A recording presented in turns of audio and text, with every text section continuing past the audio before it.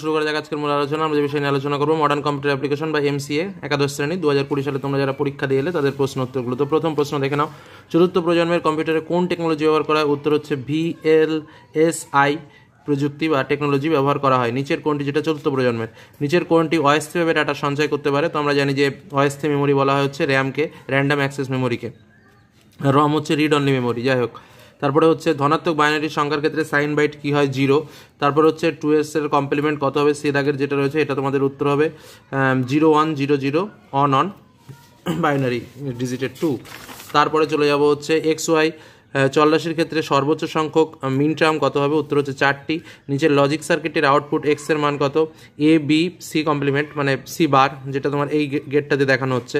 তারপরে তোমার এটা অটোমেটিক রয়েছে। তারপরে চলে যায় লোগো একটি কি প্রোগ্রামিং ল্যাঙ্গুয়েজ ডস এর পথ নেমে ডিরেক্টরিগুলিকে পৃথক করা হয় ড্যাশের সাজে স্ল্যাশের সাজে তো এইটা তারপর হচ্ছে ইন্টেজার লং সিঙ্গেল ইত্যাদি হলো ভিজুয়াল বেসিকের ডেটা টাইপ যে লুপ শুরুর পূর্বে কতবার পরিচালিত হবে তা পূর্ব থেকে নির্ধারণ করা যায়। তার নাম কি? তার নাম হলো ফর নেক্সট ভিজুয়াল বেসিকের প্রোগ্রাম নাম, ঠিকানা ইত্যাদি সংরক্ষণ করা। ডেটা টাইপের নাম কি? উত্তর হচ্ছে লং নিজের কোন স্টেটমেন্টের পরিবর্তে সিলেক্ট কেস স্টেটমেন্ট ব্যবহার করা যায়।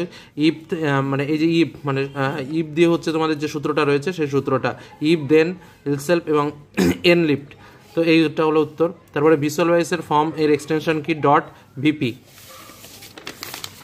চলে যাব তারপরে কোশ্চেন ডিআইএম এম এন আর এখানে আর এর মান কত হবে? এখানে হচ্ছে আমের মান হচ্ছে ফিফটি টু তারপরে হচ্ছে MS Word select all, shortcut হলো? কন্ট্রোল অল কন্ট্রোল অল মানে হচ্ছে সিলেক্ট অল হয়ে গেল। কন্ট্রোল সি মানে কপি কন্ট্রোল এস মানে সেভ তারপরে কন্ট্রোল এক্স মানে কাট, তারপরে চলে যায় এমএস ওয়ার্ডের লাইনের অল্প নিচে বর্ণ লেখার পদ্ধতি হলো সাবস্ক্রিপ্ট তারপরে চলে যায় নিম্নলিখিত কোন লাইন স্পেসিং সঠিক নয় one point five line spacing সঠিক নয়। এমএস ওয়ার্ল্ডের ম্যাক্রো বাটনের নিচে কোন অপশানটি থাকে না?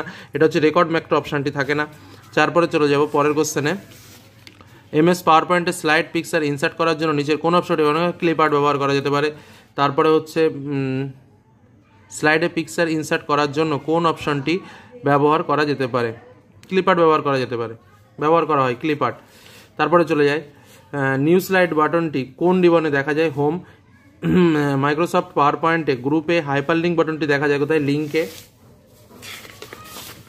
পরে কোশ্চেন তারপরে তোমাদের এসে কিউ রয়েছে, তো প্রশ্নগুলো দেখে নাও, সেগুলো আমি করিনি। তো তোমাদের পরবর্তীতে যারা একাদশ শ্রেণীতে পড়বে, তাদের জন্য এই প্রশ্নগুলো ইম্পর্টেন্ট যার জন্য প্রশ্নগুলো আমি তোমাদের একটু দেখিয়ে দিচ্ছি।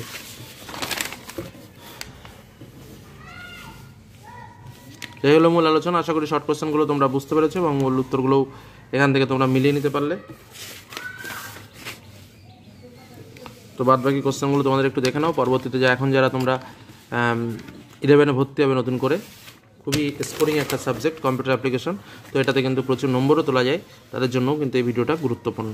তো এটা ইংলিশ ভার্সন তো এই হলো ব্যাপার। তাহলে আলোচনাটি ভালো লাগলে অবশ্যই লাইক করো, বন্ধুদের সঙ্গে শেয়ার করো। যারা চ্যানেল নতুন এখন সাবস্ক্রাইব করনি, অবশ্যই সাবস্ক্রাইব করে রাখো। ধন্যবাদ।